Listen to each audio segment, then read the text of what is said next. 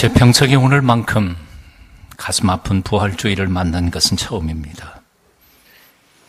엄청난 참극에 사랑하는 사람들을 이룬 이들의 슬픔을 그 어떤 말로도 위로할 수 없다는 것. 그들을 위해 우리가 할 수 있는 일들도 또한 별로 없다는 것. 아직도 이 땅에 이렇게 엄청난 참사가 일어날 만큼 곳곳에 안전 시스템이 너무나 허술하다는 것.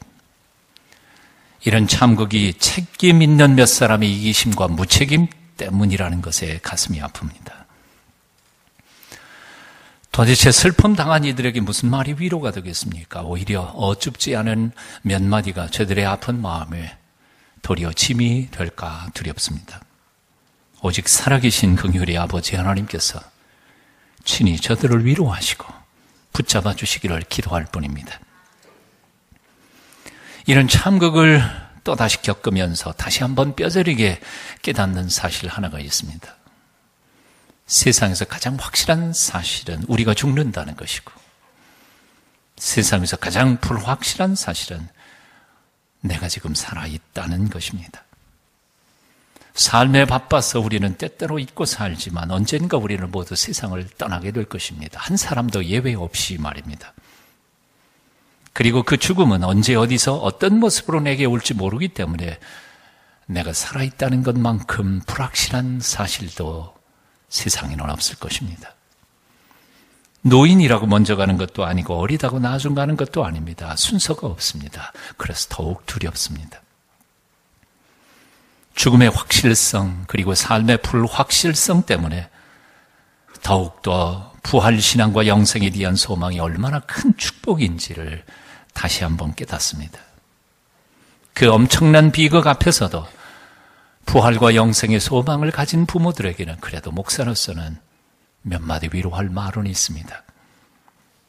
이토록 허무하게 너무나 비극적으로 사랑을 떠나 본, 보인, 보낸 게, 보내게 된 것에 대해서는 가슴 아프지만 어차피 우리는 언젠가는 떠날 사람들이고 이 땅에 소망 두지 않고 영원한 천국을 소망 가운데 보고 살아가는 사람들이 아니었습니까? 그러므로 그 소망 안에서 위로받으시고 새로운 용기로 다시 일어서십시오. 이장호 감독이 새로 만든 영화 시선에 출연했던 배우가 촬영을 마치고 한국에 돌아와서 풍토병으로 세상을 떠났습니다. 그 배우의 이야기를 이장호 감독에게 들으면서 하나님의 뜻을 정확히 우리는 알 수 없지만 사랑하는 사람들, 특별히 천국의 소망을 가지고 사랑하는 사람들의 죽음에는 분명히 하나님의 섭리와 뜻이 있다는 사실입니다. 사랑하는 후배 교수가 캄보디아의 선교 여행 단기 선교를 다녀와서 똑같은 마음으로 풍토병으로 일주일 안에 세상을 떠났습니다. 영성신학이 아주 훌륭한 귀한 일꾼이었습니다. 또한 하나님의 뜻이 이해가 되지 않지만 그러나 너무 슬퍼하지 않는 것은 천국에서 그 후배를 다시 만날 소망이 있기 때문입니다. 하지만 그런 소망이 없는 이번에 슬픔을 당한 부모들, 그들에게 저는 할 말이 없습니다. 그저 가슴이 아플 뿐입니다. 함께 같이 통곡하고 울 수는 있을지 몰라도 그들을 위로할 한마디의 말도 할 수가 없음이 슬플 뿐입니다. 바로 이런 이유 때문에 오늘 저는 다시 한 번 더 분명하고 똑똑하게 우리의 부활 신앙을 재확인하고 싶습니다. 이 신앙에 아직도 확신을 가지지 못한 분들이 혹 있다면 오늘 이 부활주일 아침에 여러분의 믿음을 온전히 다시 확인하실 수 있게 되기를 축원합니다. 사실 2000년 전에도 이 부활의 기적을 믿지 못했던 사람들 많은 게 아니라 전부 다였습니다. 아무도 예수님의 부활을 믿지 않았습니다. 제자들도 믿지 않았습니다. 예수님은 제자들에게 누누이 내가 죽은 후에 3일 만에 다시 부활하리라 말씀하셨지만 제자들 중에 누구도 그 말을 심각하게 들은 사람은 없었습니다. 왜냐하면 죽은 사람이 다시 사신다는 것은 산다는 것은 말도 안 되는 이야기였으니까. 그래서 막상 예수님께서 십자가에 달려 죽으시고 무덤에 장사 지내게 되자 그들은 다 끝났다 그러고 절망해버리고 말았습니다. 아무도 예수님의 부활을 기대하지도 않았고 또한 믿지도 않았습니다. 부활의 최초의 목격자였던 마리아도 사실은 예수님이 다시 살아날 것을 만나기 위해서 그 새벽에 달려간 것이 아니라 며칠 전에 미처 행하지 못한 장례 절차를 마무리 지으려고 시신의 향료와 몰약을 바르러 갔을 뿐이었습니다. 다시 한번 2000년 전에 아무도 예수님의 부활을 기대하지도 믿지도 않았습니다. 오늘 본문을 쓴 사도 바울도 처음에는 예수의 부활을 믿지 않았습니다. 오히려 허무맹랑한 이야기를 전파하는 예수쟁이들의 맹렬한 분노를 느꼈고 십자가에 죽은 저주받은 죄수가 다시 살아난 메시아가 됐다는 예수쟁이들의 그 신성모독적인 거짓말을 도저히 용서할 수가 없었습니다. 그래서 그는 산해드린의 권유를 위임받아 예수쟁이들을 섬멸하기 위해 곳곳을 누비고 다녔습니다.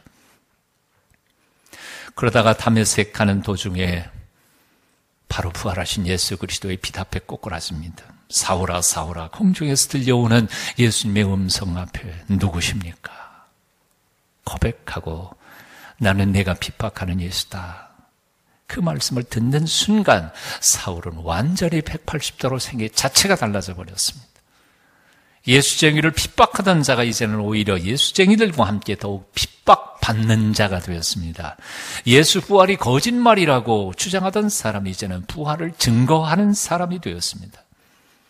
고린도전서 15장 소위 부활장은 바로 사도 바울의 개인적 경험을 적은 것이었습니다. 3절 이하는 이렇게 말씀하고 있습니다. 성경대로 그리스도께서 우리 죄를 위하여 죽으시고 장사 지낸 바 되었다가 성경대로 사흘 만에 다시 살아나셔서 베드로에게 보이셨습니다. 그 후에 열두 제자에게도 보이셨습니다. 그 후에 오백여 형제에게 일시에 보이시기도 하셨습니다. 그렇게 살아나신 예수님을 본 사람들 중에는 지금까지나 태반이나 살아있습니다. 그 후에 야고보도 부활하신 주님을 만났습니다. 다른 모든 사도들도 만났습니다. 맨 나중에 만삭되지 못하여 난 자 같은 나도 그분을 배웠습니다. 나도 그분을 배웠습니다. 어떤 분은 이 부활에 대하여 이런 글을 썼습니다. 세상에는 무덤을 자랑하는 종교가 있습니다. 또 많은 위인들의 무덤을 자랑하는 나라들도 있습니다. 심지어 아예 죽은 사람을 살아있는 것처럼 만들어 놓은 것도 있습니다. 레닌, 모택동, 호치민, 김일성 같은 사람들 말입니다. 저는 이 네 시신을 다 보았습니다만 존경스럽기보다는 불쌍한 생각이 듭니다. 왜냐하면 저들은 제대로 죽지도 못했다는 생각이 들었기 때문입니다. 기독교는 무덤을 자랑하는 종교가 아닙니다. 시신을 자랑하는 종교도 아닙니다. 기독교는 시신도 무덤도 없는 종교입니다. 왜냐하면 예수님은 부활하셨기 때문입니다. 부활은 가정이나 신화가 아닙니다. 역사적 사실입니다. 그래서 현대 신학자 칼 바르트는 이렇게 표현했습니다. 부활절과 성탄절 메시지는 짧으면 짧을수록 좋다. 왜냐하면 더 부연 설명할 필요가 없는 역사적 사실이기 때문이다. 저도 그래서 설교 짧게 할 겁니다. 오늘은 2000년 전 예수님의 부활이 오늘을 사는 현대인들에게 무슨 의미가 있을까? 특별히 오늘날 이토록 참극을 겪고 살아가는 비통해하는 사람들에게 어떤 의미가 있을까? 두 가지 의미가 있다고 생각합니다. 첫째는 죽음이 끝이 아니라는 것이지. 세상에는 죽으면 모든 것이 끝난다고 생각하는 사람들이 있습니다. 그들은 어차피 죽고 말 텐데 뭘 그리 까다롭게 사느냐고 말합니다. 어차피 죽고 말 것이니까 먹고 마시자고 합니다. 어차피 죽으면 다 끝나는데 뭘 그렇게 정직하게 열심히 아둥바둥 살 필요 뭐 있냐고 하는 겁니다. 그러다가 조금만 인생살이가 고달프고 힘들면 기꺼이 하나밖에 없는 자기의 목숨을 포기하기도 합니다. 하지만 히브리서 9장 27절로는 이렇게 말씀합니다. 한 번 죽는 것은 사람에게 정한 것이요. 그 후에는 심판이 있으리니. 죽는 건 정한 것입니다. 다 죽습니다. 하지만 그것으로 끝은 아니라는 거죠. 한 번밖에 못 사는 삶을 어떻게 살았는지에 대하여 그 인생을 주신 하나님과의 결산이 있다는 겁니다. 사도 바울은 고린도 전서 15장에서 이렇게 말하고 있습니다. 여러분, 놀라운 이 신비를 들어보지 않으시겠습니까? 혈육은 하나님 나라를 상속받지 못하지만 그러나 부활하신 예수 그리스도로 말미암아 우리는 그 나라를 상속받게 될 것입니다. 썩을 자들이 썩지 않을 것을 상속받을 것입니다. 죽을 자들이 죽지 않게 될 것입니다. 이것이 바로 죽음의 신비요 또한 생명의 신비인 것입니다. 그렇습니다. 정말 위대한 미스테리 신비가 있습니다. 우리는 한 번 죽으면 모든 것이 끝나는 그냥 죽기 위해 창조된 존재가 아니라는 사실입니다. 시인 테니스는 노래했습니다. Man think he was not made to die. 사람은 생각하기를 죽기 위해 태어난 거 아니다는 거지. 우리는 죽기 위해 지어진 존재가 아닙니다. 하나님의 형상대로 지음을 받은 인생들은 영원하신 그 하나님과 똑같이 영생하기 위해 지어진 존재들라는 것이요. 육체의 죽음이 결코 인생의 끝은 아니라는 사실입니다. 1945년 4월 9일 조국 독일에서 포악한 히틀러 정권과 맞서서 자유와 평화를 외치다가 규슈타포에게 체포된 보네오 목사님은 2년 뒤 프루센부르크 강제수용소에서 처형을 당하게 됩니다. 동료 주스들과 믿음의 후배들과 함께 마지막 예배를 드리면서 다음과 같이 부활절 메시지를 전합니다.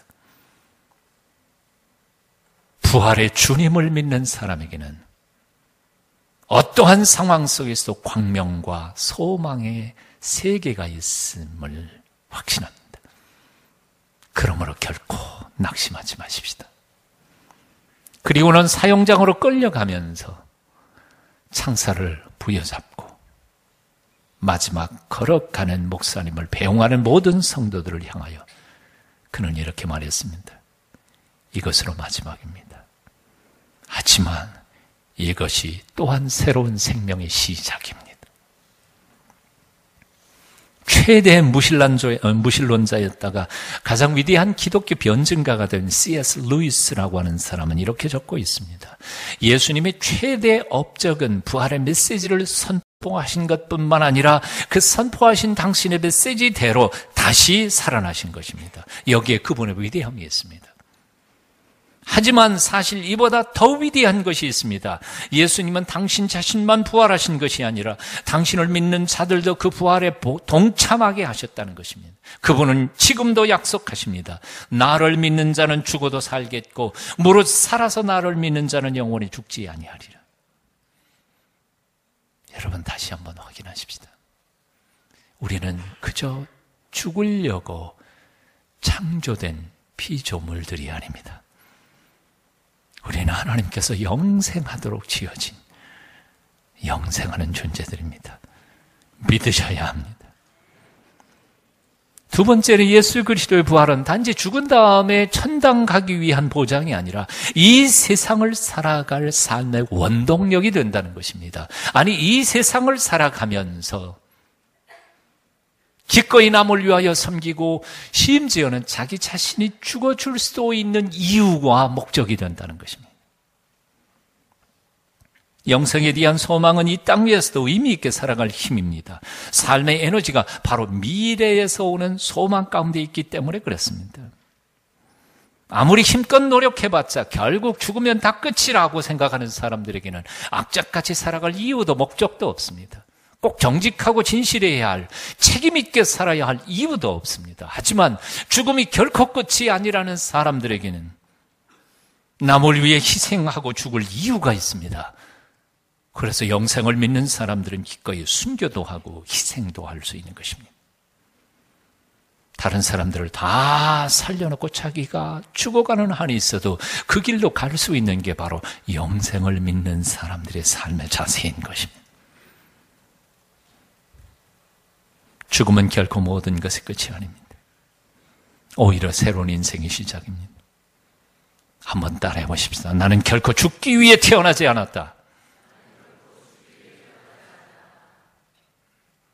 오늘 부활절 아침에 여러분 마음판에 새기십시오. 오늘 새벽 부활하신 주님께서는 이렇게 말씀하십니다. 수고하고 무거운 짐진 자들아 다 내게로 오라 내가 너희를 쉬게 하리라. 유명한 조각가 미켈란젤로는 그의 제자에게 이런 말을 남겼다고 합니다. 왜 자네는 십자가의 그리스도를 그렇게 많이 그리나? 그리스도께서 고난받으셨기 때문인가? 그리스도께서 자네를 위해 죽으셨기 때문인가? 귀한 일이네. 하지만 더, 그보다 더 귀한 일이 있네. 그리스도께서 자네를 위하여 부활하셨다는 것이네. 죽음을 깨뜨리고 승리하신 영광스러운 모습으로 부활하신 그분을 그리시게 죄와 죽음의 정복자이신 주님을 그리란 말일세. 오늘 이 아침 여러분 마음속에 죽음의 권세를 이기고 부활하신 주님이 분명하고 똑똑하게 그려지시기를 축원합니다. 미켈란젤로를 감격시켰던 그 죄와 죽음의 정복자이신 예수님이 오늘 여러분의 심령의 부활의 기쁨과 감격과 영생의 소망으로 충만케 되시기를 축원합니다. 지난주에 세월호의 참사는 그 비극적인 타이타닉 호가 침몰한 지 102년이 되는 바로 그 다음 날 벌어졌습니다. 그 엄청난 비극, 참사 타이타닉 호의 침몰 속에서도 악단 단장이었던 월러스 하틀리는 죽어가는 모든 이들에게 엄청난 위로였습니다. 월러스 하틀리 단장은 그 아수라장에서 끝까지 자기 악단 팀 멤버들을 격려하면서 죽음의 공포 속에 있었던 사람들에게 위로의 찬송과 연주를 했습니다. 여러분 타이타닉 영화 보셨겠지만 거의 대부분은 다 소설가와 사람들의 상상에서 나온 것이지만 마지막 장면 월더스 하틀리 단장의 고백은 진짜입니다. 내 주를 가까이 하게 하면 십자가심 같은 고생이나 내 일생 소원은 늘 찬송하면서 주께 더 나아가기 원합니다. 천성에 가는 길 험하여도 생명길 되나니 은혜로다. 천사날 부르니 늘 찬송하면서 주께 더 나아가기 원합니다. 연주를 하면서 월러스 단장은 계속해서 이렇게 외쳤다고 합니다. 예수 그분을 의지하십시오.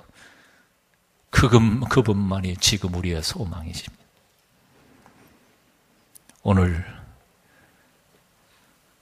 이 나라 이 땅 온통 희망을 잃고 절망과 낙담에 절쳐져 있는 이들에게 젊은이들의 말 표현처럼 멘붕 상태에 있는 저들에게 저와 여러분은 참된 위로와 희망의 메시지여야 할 줄 믿습니다. 참변을 당하고 어쩔 줄 모르는 그들을 돕기 위하여 우리가 할 수 있는 모든 일들을 최선을 다해야 하겠습니다. 하지만 동시에 그렇게 일시적인 위로와 도움을 넘어서서 책임있는 제도 정비와 맡은 이들이 남들을 위하여 기꺼이 희생하면서 섬기는 세상 만들어 가고 섬기는 그리스도인들, 책임있는 크리스찬들을 만들어 가도록 노력해야 할 것입니다. 그리고 가장 중요한 것은 궁극적으로 결국 우리의 마지막 영원한 소망은 천국과 영생뿐임을 기억하며 나의 호흡의 마지막 순간까지 월러스 하트리 단장처럼 부활의 온전한 증인으로 살아야 할 줄 믿습니다. 오늘 거룩한 결단이 여러분 속에 있고 남은 생애 동안에 이 부활의 증인들로 헌신할 수 있게 되기를 축원합니다. 기도하겠습니다. 죽음의 권세를 이기시고 오늘 새벽 부활하신 주 예수님. 오늘도 절망 가운데 있는 모든 이들을 친히 위로하여 주시옵소서. 저들이 처한 기가 막힐 절망의 웅덩이에서 벗어나올 용기와 지혜를 더하시옵소서.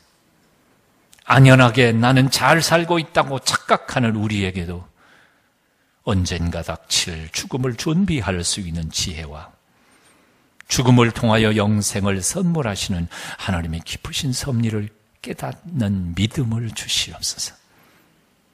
죽음을 이기시고 생명의 주가 되셔서 오늘도 영생의 길로 우리를 이끄시는 예수님의 이름으로 기도합니다. 아멘.